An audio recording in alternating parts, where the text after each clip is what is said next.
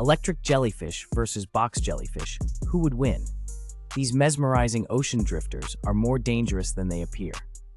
The electric jellyfish, known as the electric flame jelly, dazzles with its bioluminescent glow and can emit mild electric shocks to deter predators. Its tentacles stretch up to three feet, delivering stings that paralyze small fish. Unbelievably, some electric jellyfish can generate light patterns to communicate with each other in the dark ocean depths. In contrast, the infamous box jellyfish is a master of speed and lethality. Its nearly transparent, cube-shaped body allows it to slip through warm coastal waters undetected. The box jellyfish's venom is among the most potent on Earth, capable of causing heart failure in minutes.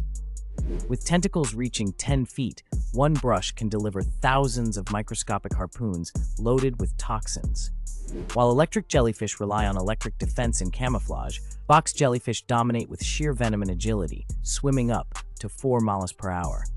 In a direct confrontation, the box jellyfish's speed and overwhelming venom give it the definitive edge.